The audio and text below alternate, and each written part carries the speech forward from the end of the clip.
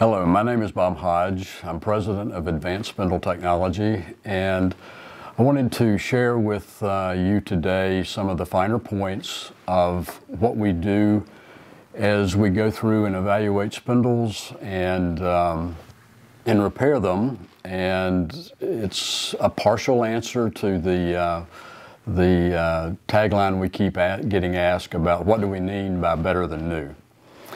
So what I'd like to do to begin is to uh, go through a little bit of a lesson on bearings. Uh, spindles are the heart of the machine tool, uh, but what people seem to miss sometimes is the bearings are the heart of the spindle. So we pay particular attention to the bearings and one of the things we do when we evaluate the architecture of the bearings within a spindle that we're repairing is we look for opportunities to make that spindle better than um, uh, what it uh, came out from the factory at. Uh, because factory produced machine tools are meant for a lot of different applications. And what that really says is they really aren't optimized for any. So we look for those opportunities, and one of the ways we do that is we evaluate contact angles in bearings. And what you see here is a, a bearing here in the center um, and uh, it, they're pretty simple. There's an inner ring, an outer ring, a, a, a, retainer, and some balls. But those balls contact the raceways at a given contact angle.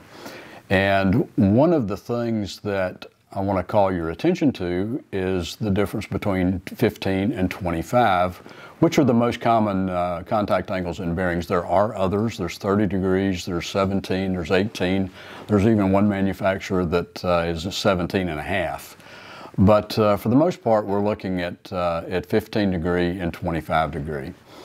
And one of the things I want to, uh, to get into is the reason this is important is that the 25 degree contact angle bearings will carry a heavier axial load. They have more axial capacity. And now that's at the uh, sacrifice of some radial capacity. The 15 degree has less axial capacity because of the difference in the contact angle. And it has more radial capacity and stiffness. And you have this diagram here. What you see here in black would represent the, uh, the vectors uh, the axial vector and the radial vector for a 15 degree bearing. And then here in the red, you see superimposed uh, quite a bit more, not quite double, but uh, substantially more axial capacity in the 25 uh, than the 15 would have. So the reason this is important is because of the preloads and the load carrying capacity of the bearings.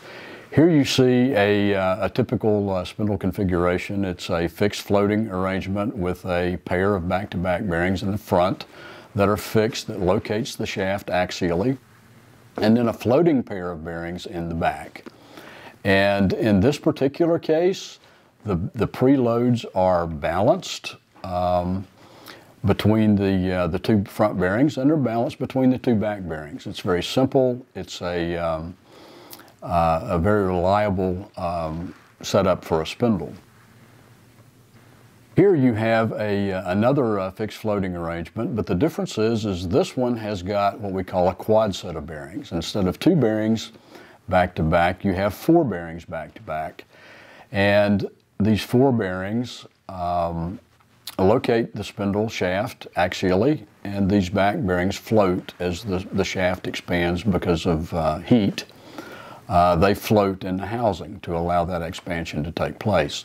So this is a, a really good way to increase the capacity of a spindle. Okay, here is a, uh, another fixed floating arrangement for a spindle, uh, just like the ones that we looked at before. But in this particular case, uh, we have a triplex set of bearings. Here is the, uh, the, fixed, uh, the fixed configuration.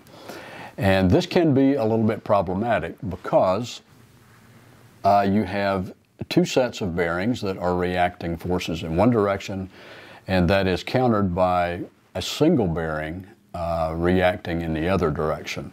The floating pair of bearings in the rear does not carry any axial load. Uh, that's only for, uh, for radial support. Um, and when we see these triplex sets of bearings, typically what we find is all three bearings will have the same contact angle. So what that means is uh, you have, even with no loads, just mounted in the spindle, you have the built-in preloads of two bearings being reacted by the preload of one bearing. So this one bearing in the back is essentially doing double duty of the front bearings. It's doing twice the preload of the two front bearings.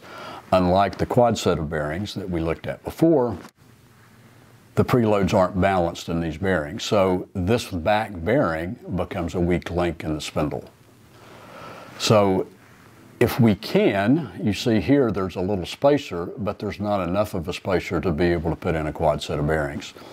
So what we would do to improve the situation, since we can't put in a quad set of bearings, we would put in two 15 degree contact angle bearings up here in the front and we would react that with a 25 degree contact angle bearing to better balance the preloads of the entire system so you don't have as much of a weak link built in.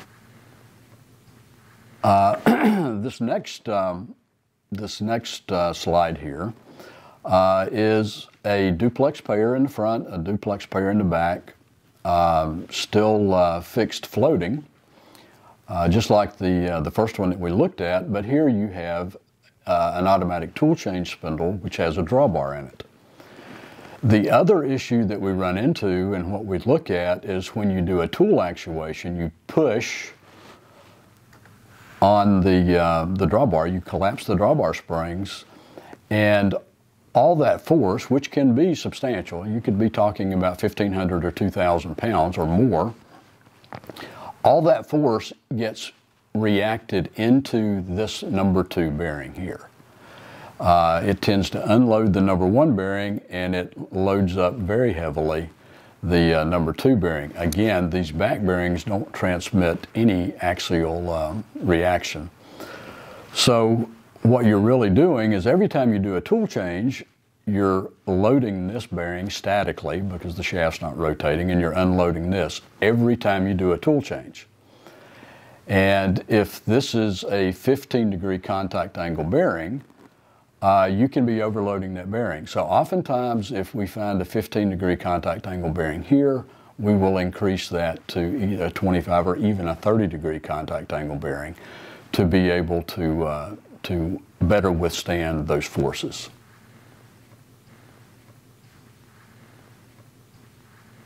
Here is a, um, a duplex pair fixed and floating arrangement again, but it's spring preloaded. Uh, the front bearings here, again, locate the shaft axially. Uh, this one happens to be air oil lubricated. In this particular spindle, you have a spring preloaded configuration where you have a tandem pair of bearings in the front. They're both reacting um, the loads from the spindles going into the spindle, and then that's reacted by a tandem pair of bearings uh, in the back with spring preload. Uh, so what happens is the spring pushes on these bearings, which translates that to the shaft and loads the front bearings. So what you have here is a mismatch in size and capacity. You can see the difference in the size of the front two bearings versus the size of the back two bearings. So if all these bearings are 15 degree contact angle, then there's a high likelihood that these small back bearings are overloaded to be able to put enough preload in the front bearings. So what we would do in this case is we would likely use 15 degree contact angle bearings in the front and we would go to 25 degree contact angle bearings in the back to better balance those preloads from the front to the back. So thank you for letting me share that with you. Uh, we appreciate uh, your time and your interest. If there is anything that uh, AST can do, uh, if you have a spindle that you would like to send in for an evaluation uh, and a potential improvement, then please let us know. Thank you.